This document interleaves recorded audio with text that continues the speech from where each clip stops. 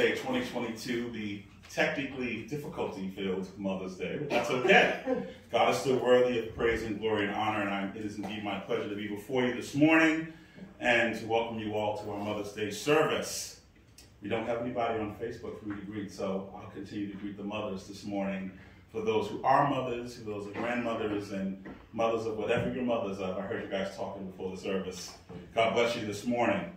The title of our message this morning is God Uses Mother's Faith to Save a Nation. God uses a mother's faith to save a nation. Let us begin today on this Mother's Day with an article that I read in the Associated Press dated June 29, 2020, entitled China Cuts Uyghur Births with IUDs, Abortion, and Sterilization. The Chinese government is taking draconian measures to slash birth rates among the Uyghurs and other minorities as part of a sweeping campaign to curb its Muslim population. Even after, or even as it encourages some of the country's Han majority to have more children. While individual women have spoken out before about forced birth control, the practice is far more widespread and systematic than previously known according to an AP investigation based on government statistics, state documents, and interviews. The campaign over the past four years in the far west region of Xinjiang is leading to what some experts are calling a demographic genocide. The state regulatory subjects, should I say regularly subject, subjects minority women to pregnancy checks, forces intrauterine devices sterilization, and even abortion on hundreds of thousands. The interview and data has shown us. Even while the use of IUDs and sterilization has fallen nationwide, it is still rising sharply in Xinjiang, which is where the Uyghurs live. The population control measures are, are backed by mass de detention both as a threat and as a punishment for failure to comply. Having too many children is the major reason many are sent to detention camps, the AP found, with parents of three or more ripped away from their families unless they can pay huge fines. Police raid homes, terrifying parents as they search for hidden children. After Gulnar Omirzakh, a Chinese-born Kazakh mother, had their third child, the government ordered her to get an IUD inserted. Two years later, in 2018, four officials in military camouflage came knocking at this mother's door anyway. They give Omizak, the penniless wife of a detained vegetable trader, three days to pay $2,695 fine for having more than two children. If she didn't, they warned she would join her husband and millions of other ethnic minorities locked up in internment camps for having too many children. God bequeaths children on you, she exclaimed. To prevent people from having children is wrong, said Omizak, who tears up even now while thinking back to that day. They want to destroy us as a people, she recanted.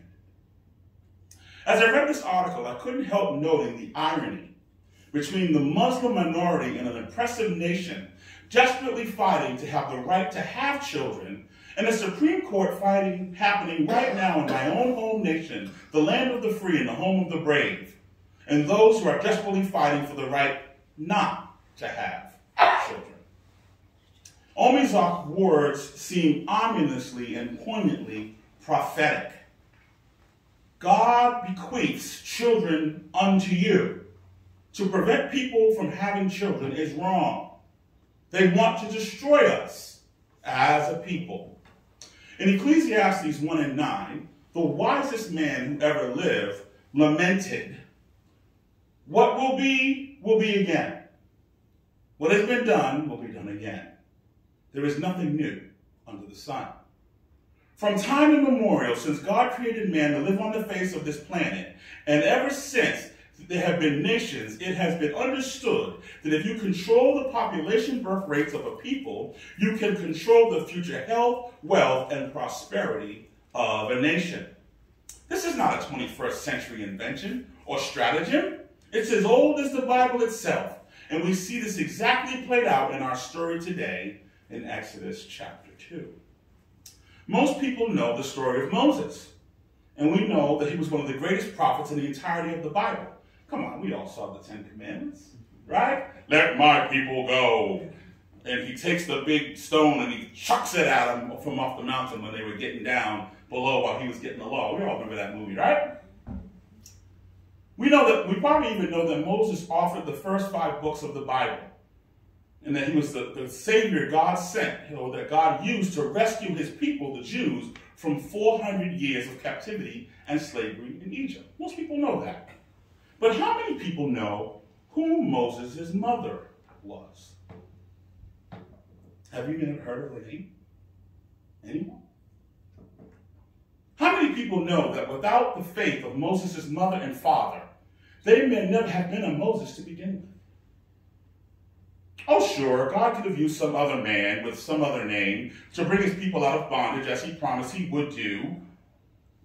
But he didn't have to because he had two faithful parents from the tribe of Levi who defied Pharaoh's edict that all male children born to the Hebrews were to be slaughtered at birth. He had a faithful mother who hardly anyone knows, even to this day, named Jochebed. J O C H E B E D. Yes, Jochebed is the mother whose faith God used to save a nation. In Exodus 1, it recounts what happened to Abraham, Isaac, and Jacob's descendants after they settled in Egypt with Joseph to escape the worldwide famine of their time. It says that the Israelites were exceedingly fruitful. That means they were having a lot of babies, y'all. They multiplied greatly, increased in number, and became so numerous that the land was filled with them. So sounds like we went from immigration to saturation. Don't get nervous. I'm not going to start talking about the border. You can breathe again. Take it easy. A new king came to power, a new administration, if you will, to whom Joseph meant nothing.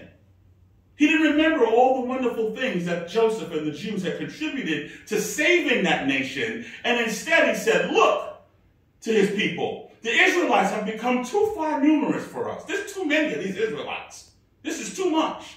Come, we must deal shrewdly with them, or they will become even more numerous. And if war breaks out, they may join our enemies and fight against us and leave this country.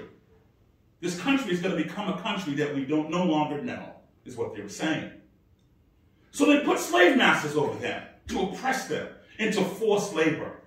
But the more they oppressed them, the more they multiplied and spread. True of the New Testament church, by the way. The more Rome and the Pharisees and the Sadducees oppressed the disciples of Jesus Christ, the more Christianity spread and grew throughout the Roman world. But I digress. So the Egyptians came to dread the Israelites and worked them ruthlessly. They made their lives bitter with harsh labor and brick and mortar and with all kinds of work in the field. And they whipped them and lashed them. And in their harsh labor, the Egyptians worked them ruthlessly. This is what it says in the text. I'm not making up. This is Exodus 1. Hmm. Sounds strikingly similar to what the Europeans did with the Native Americans or the West Africans, my ancestors. But again, I digress. The king of Egypt said to the Hebrew midwives, whose names were Shiphrah and Puah, when you are helping the Hebrew women during childbirth on the delivery stool, if you see that it's a baby boy, kill him. But if it's a girl, let it live. The midwives, however, watch this, feared God and did not do what the king of Egypt had told them to do. They let the boys live. Then the king of Egypt summoned the midwives and asked them, Why have you done this? Why have you let the boys live? The midwives answered Pharaoh, Hebrew women are not like Egyptian women. They are vigorous and they give birth before the midwives arrive. They were lying, by the way. So we hear in this example, we see an act of civil disobedience on the part of the midwives, who knew what the king of Egypt, Pharaoh, had ordered. But for conscience sake, they could not comply with his request and they literally lied to the king at the risk of their own lives to do what was morally right. Would that we still had people today who were willing to do what is right in the eyes of God? Would we have people today who were willing to sacrifice and do what is morally right, even when it's uncomfortable for you personally? Do what is right in the eyes of God and not what's in the right in the eyes of man. That way we represent God's will and not our own. So that again the world would actually know by our example what is right and what is wrong. Too many of our churches have grown complacent and weak-kneed and lack the intestinal fortitude, courage, and faith that these mothers, these, these midwives showed in the face of certain death. In this nation, at least today, although I can see a time when it might not be the case anymore, what, what, what do we really risk when we do what is right? All we really risk is our reputation and maybe our invitation to the country club or inclusion in polite society when we stand firm on biblical principles. But still many today capitulate to society's whims and the evil directives and fail to stand up for what we know is right and wrong in the eyes of God. Beloved, we would do well to remember the words of Jesus in Matthew 10 33. Whosoever shall deny me before men, him will I also deny before my Father which is in heaven. But these midwives stood up and did not obey Pharaoh's wicked edict, and God gave them families of their own. Why? Because of their faith. God blessed them with families of their own, and they became mothers, whereas before they were childless. These midwives may or may not have been Hebrews themselves, but they protected God's most vulnerable people, the male children born to Hebrew women, from Pharaoh's evil intent to destroy Israel as a nation. God used the faith of these women to help save a nation. Which brings me back to our text and the faith of Moses' mother, Jochebed. Once the midwives refused to cooperate with Pharaoh, he implemented Plan B, so to speak, and he orders the, everyone in the nation to be on the lookout for Hebrew boys born to Hebrew mothers. And if we find them, cast them alive into the Nile River. It is into this backdrop that Jochebed gives birth to Moses. Even though she already had two other children, by the way. Moses' elder siblings. She had Aaron and Miriam already who are Moses' elder siblings, she still gets pregnant again and gives birth to Moses, which in and of itself was an act of faithful defiance. When she sees the child, when she sees him, her husband Amram and her realize that this is no ordinary child and that there was something special about him. The theologians tell us that this phrase, no ordinary, or in the King James Version it says goodly or comely, indicates that he was strikingly beautiful. Kind of like myself, by the way. but not just in appearance. There was an anointing. There was something about him. It, was as if his mother was looking at his eyes and she could see his destiny in his eyes. How many mothers have looked at your child and you could see your child's full potential and destiny as you held them in your arms? As you swaddled them and as they cooed. You, you beheld them and you could just dream and, and perceive what this child could really be. Any mothers want to say amen to that? Amen. amen. Okay, I got a couple. Any mothers want to say amen to that? Amen. There was an anointing there. There was something that they saw and they said, oh no, this, this, this can't be. Remember, it had been almost 400 years. They knew that this child was going to be something special, someone great, a man of renown. It had been 400 years since they had been in slavery in Egypt, and there was a prophecy that said that the Messiah would be sent to save them from bondage. So all of these women were looking for the birth of the one who would be their deliverer. So when they looked into the eyes of Moses, is that what they saw? It is what they hoped for. It is what they were believing for.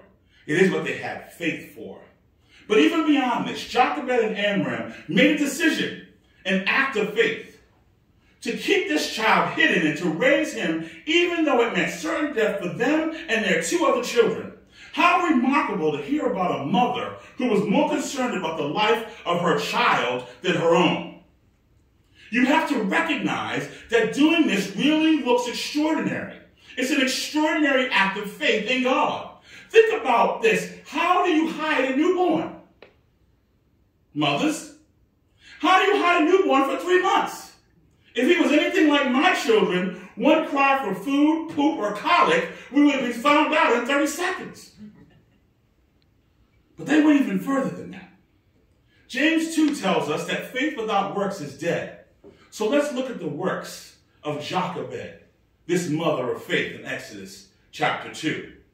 When, when she could not hide him any longer, she got papyrus basket for him, and she coated it with tar and pitch. Then she placed the child in it and put it among the reeds along the bank of the Nile.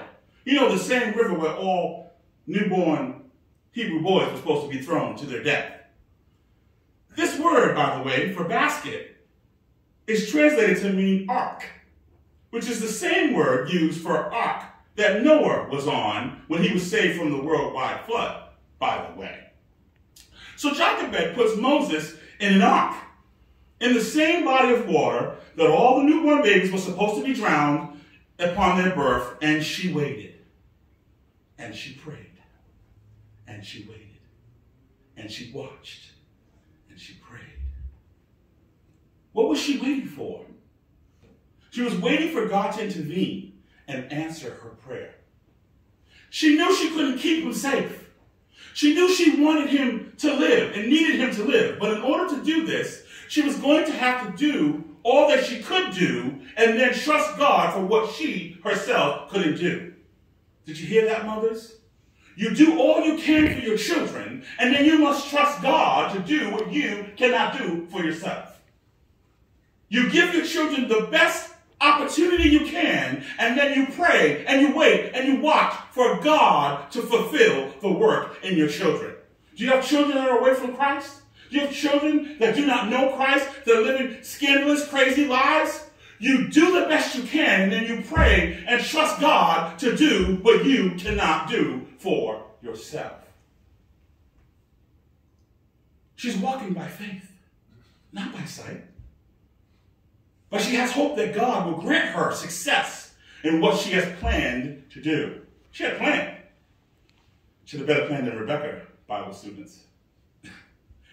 what was her plan? Well, let's take it out. Let's check it out. His sister stood at a distance to see what would happen to him. Then Pharaoh's daughter went down to the Nile to bathe, and her attendants were walking along the riverbank. She saw the basket among the reeds and sent her female slave to get it. Now, do you think Jochebed didn't know that Pharaoh's daughter took her bath there at a certain time of day or week? Of course she did. And I suspect that she maybe even knew some things about Pharaoh's daughter and the type of woman that she was. There are bonds that women share, especially as mothers, that men we just don't comprehend or understand. Look at what the midwives did, for example. Even though it could have meant their death, they just could not kill innocents. Women, for the most part, are wired to, to not do such a thing. Your motherly instinct, if you will, kicks in.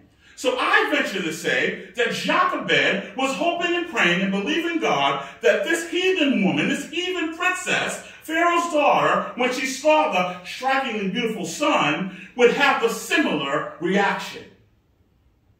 What happened? Verse 6 she opened it and she saw the baby. He was crying. And she felt sorry. She was moved with compassion for him. This is one of the Hebrew babies, she said. Ah, this is one of the Hebrew babies, she said. So what do we know that she knows? She knows what her father has decreed. So there it is. The motherly instinct has kicked in. And just as Jochebed had hoped and prayed. And then, right on cue, as I'm sure Jochebed had told her to do, by the way, his sister, Miriam, pops onto the scene. Shall I go and get one of the Hebrew women to nurse the baby for you? She says. As if that wasn't the plan all along. But again, they didn't really know what was going to happen that way. They were hoping and praying that it was going to happen that way. What if Pharaoh's daughter, who clearly knew the edict of her father, like everyone else in the whole nation did, obeyed her father and threw Moses' body back into the Nile? This was definitely and certainly a possible outcome that Jochebed had to wrestle with as she placed her son in the ark on the Nile. But what we see happen is our God, who tells us plainly, without faith, it's impossible to please him. You must believe that he is and that is a rewarder of those who diligently seek him. And we see here in this story how God rewards the faith of Jochebed. Pharaoh's daughter says to Miriam, Yes, go and get the mother, or go and get a woman and, uh, to do what you said. Pharaoh's daughter said to her, Take this baby, nurse him for me, and I will, here it is, how do you like this? And I'll pay you. so the woman took the baby and nursed him. So now, instead of being under the threat of death, of having this third child after the edict to kill all Israeli boys, Jochebed is being paid to care for her own for her own son to keep him alive for Pharaoh's daughter. Who doesn't want to serve God like that? Now she has the opportunity, by the way, to share the stories of their family heritage and the faith of Abraham, Isaac, and Jacob, and the covenant with God that he made with the people so that one day he would become the deliverer of God's people, the purpose for which he was born, all expenses paid by their enemy. Proverbs 16:7 says, When a man's ways, or woman's ways, please the Lord, he makes even his enemies be at peace with him. Yes, beloved, God rewarded the faith of Jochebed and had the daughter of Pharaoh, the enemy of the Israelites, protect the future redeemer of his people. Verse 10 then says, When the child grew older, she took him to Pharaoh's daughter, and he became her son, and she named him, by the way, Moses, which means I drew him out of the water. Hebrews 11:23 says, by faith, Moses' parents hid him for three months after he was born because they saw that he was no ordinary child and they were not afraid of the king's edict.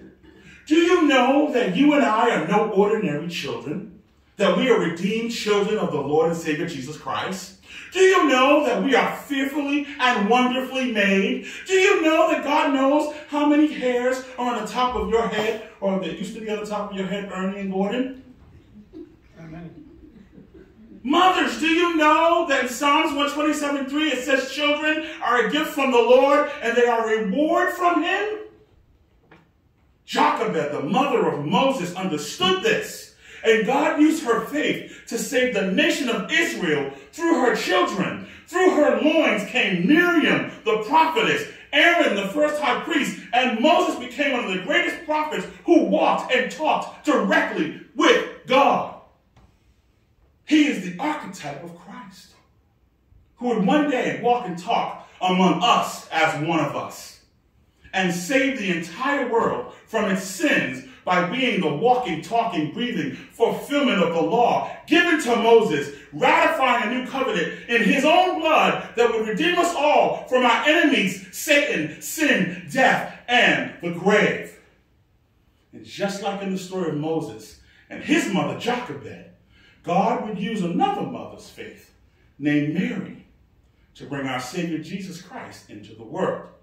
Here again, we see in the life and faith of Moses' mother, Jochebed, a prophetic foreshadowing of the redemptive plan of God for all mankind that would come through the body of a mother, Mary, who in faith said, May it be done to me according to your word. And she birthed the Savior Jesus Christ, who would redeem us all. Yes, beloved, this is how God used the faith of a mother to not only save a nation, but to save us all.